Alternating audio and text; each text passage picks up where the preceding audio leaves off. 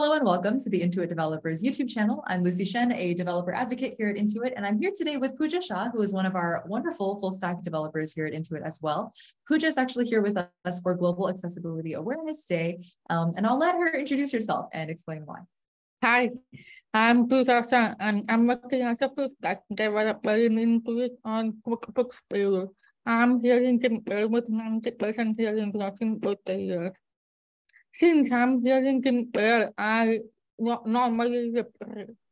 So in digital world, but if I listen to movies or I watch some videos or audios, I actually have to rely on closed captioning so that I can know what is being talked about because the person's face is not always visible Awesome. Thank you, Pooja, for your introduction and for sharing with us a bit of your experience. Um, I'm also curious, as a developer who has a disability, um, what do you primarily code in? And is it influenced at all by the disability? Does it change the tooling that you use? So I'm a full stack developer. So basically, I work on React, TypeScript, GraphQL, and Java languages. And the way I call is like if I had to call with anyone on Zoom call, what I primarily do is like I program because sometimes I may not understand what the other person is saying. So what I normally ask them like if they want to share some ideas with me or if it is kind of programming, I ask them to share their screen and write a small snippet. So it becomes easy for me to understand what they are talking about and all of those. Before we started all working on Zoom, for example, and you were able to enable closed captioning, ask for screen sharing, what kinds of barriers did you run into and how did you get over that in terms of making sure that you were able to understand each other? In terms of screen uh, sharing, what are the barriers I've, I had is that sometimes the other person are afraid to turn on the camera. So what I would have to do is turn on the closed caption or uh, maybe request the other person if they can turn on the camera. And what I have seen is that sometimes Zoom closed captioning doesn't always work. So the other way I go for is I open Google Slides. And when I go to an empty Google Slides in presentation mode, it has a closed captioning available um, that is much more accurate in Zoom sometimes. And what if you're meeting in person? Do you usually like, does reading lips help, for example? Yeah. Um, oh, okay. Yeah, I just read only lip. I'm curious then, like before we started all working on Zoom, right? And you had the closed captioning feature and we were all working in person and you had to read lips. Uh, yeah. Is it easier for you to use Zoom closed captioning or do you prefer the in-person experience? Yeah, actually, find it easy with Zoom closed captioning. So I don't have to open another window with another captions and about Zoom is all everything integrated in one experience. It has become very easy for me to rely on closed captioning.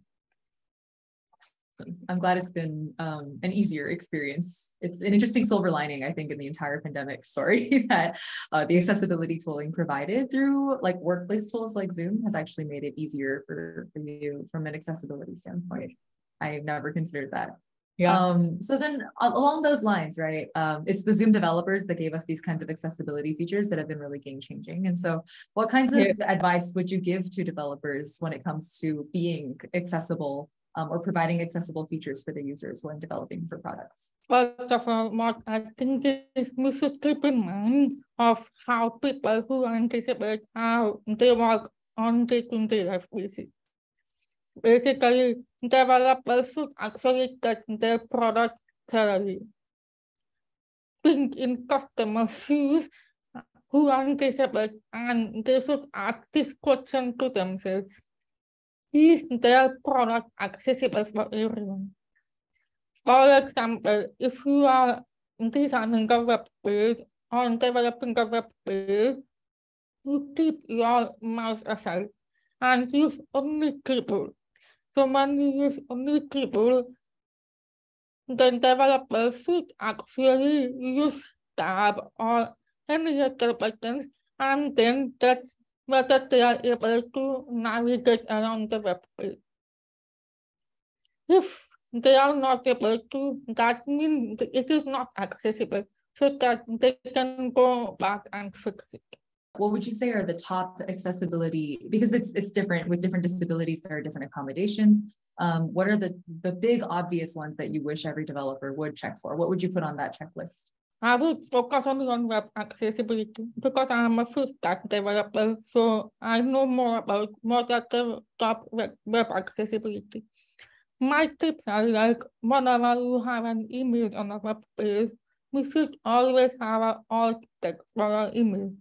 Because if you consider people who have low vision or who are blind, and they need to navigate on a web page, the emails we convert them into a sound. We convert uh, in form of sound and explain people what the email is talking about and what is the purpose of the email. And the second one is like we should, whenever you have a link on a web page, it should have a descriptive text. So what happens is that the users who navigate to the link know what is the purpose of it. And it will also help them the user where the link will take them to when when you navigate from pages to pages. And the third one is the most important thing is we should always use accessibility validation tools to uncover bugs on our web page.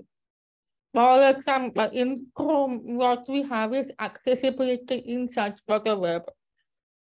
And it will give all of the bugs that we my, our web page is not accessible if the, it is accessible or not.